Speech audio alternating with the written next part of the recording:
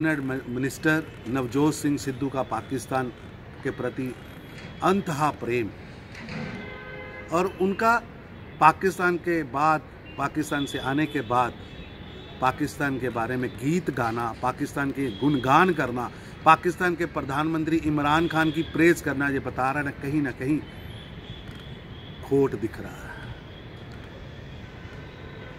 पिछली बार गए तो आईएसआई चीफ के साथ गले मिले।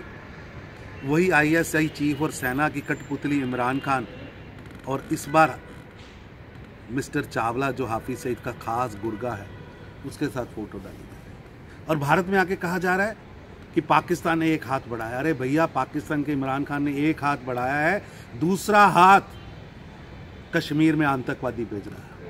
दूसरा हाथ छब्बीस जरा भेज रहा है, दूसरा हाथ हाफिज सईद को पाल रहा है, दूसरा हाथ आईएसआई के साथ मिलकर कसाब भेज रहा है, दूसरा हाथ हिंदुस्तान के खिलाफ खालिस्तान के आतंकवादी तैयार कर रहा है, ट्वेंटी ट्वेंटी के लिए ज़मीन तैयार कर रहा है, नरंकारी भवन पे बम फटवा रहा है। सिद्धू साहब, पाकिस्तान का असली चेहरा पहचानो, उसकी मार्केटिंग भारत में आके एक मार्केटिंग एजेंट की तरह मत करो। और ये सोचो कि आपके इन बयानों से वो भारत के एक सैनिक जो देश के लिए रक्षा कर रहे हैं, उन पर क्या प्रभाव पड़ रहा है? और अगर सचमुच इमरान खान कुछ करना चाहते तो बताएँ कुलभूषण कब छूटेगा? सरबजीत के कातिलों को कब सजा मिलेगी? हिंदुस्तान के खिलाफ षड्यंत्र करने वाले, छब्बीस ग्यारह कराने वाले, देश की संसद पर हमला कराने वाले आतंकवादियों पर कार्रवाई कब होगी? वो पाकिस्तान में कब तक छिपे रहेंगे?